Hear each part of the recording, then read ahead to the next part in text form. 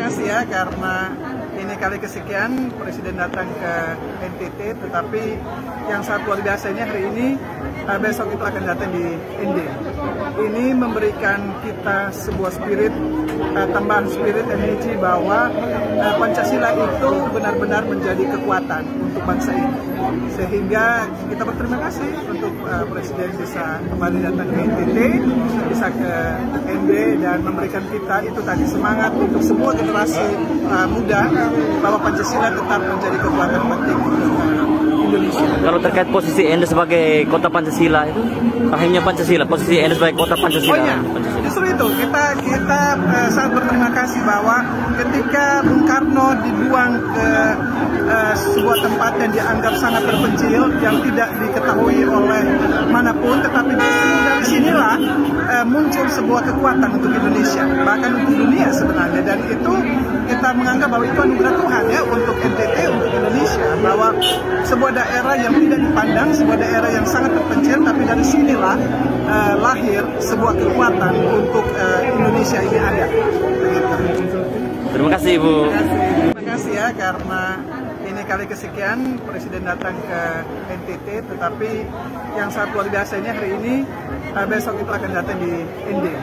Ini memberikan kita sebuah spirit, uh, tambahan spirit energi bahwa uh, Pancasila itu benar-benar menjadi kekuatan untuk bangsa ini.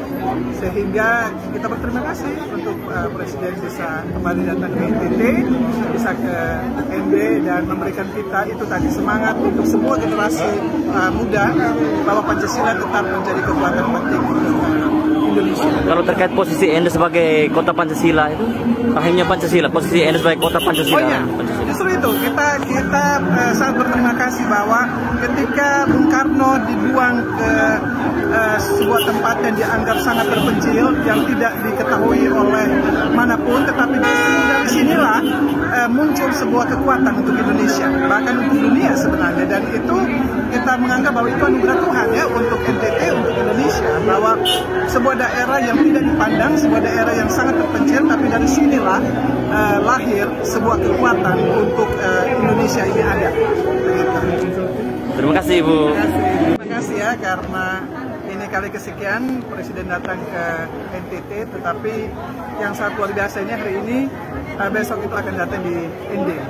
Ini memberikan kita sebuah spirit, uh, tambahan spirit energi bahwa uh, Pancasila itu benar-benar menjadi kekuatan untuk bangsa ini. Sehingga kita berterima kasih untuk uh, Presiden bisa kembali datang ke NTT, bisa ke ND dan memberikan kita itu tadi semangat untuk semua generasi uh, muda bahwa Pancasila tetap menjadi kekuatan penting. Kalau terkait posisi Anda sebagai kota Pancasila itu, akhirnya Pancasila, posisi Anda sebagai kota Pancasila. Oh iya, justru itu. Kita kita uh, sangat berterima kasih bahwa ketika Bung Karno dibuang ke uh, sebuah tempat yang dianggap sangat terpencil yang tidak diketahui oleh mana pun, tetapi dari sinilah uh, muncul sebuah kekuatan untuk Indonesia, bahkan untuk dunia sebenarnya, dan itu kita menganggap bahwa itu anugerah Tuhan ya untuk NTT, untuk Indonesia, bahwa sebuah daerah yang tidak dipandang, sebuah daerah yang sangat terpencil, tapi dari sinilah uh, lahir sebuah kekuatan untuk uh, Indonesia ini ada. Terima kasih Ibu. Terima kasih.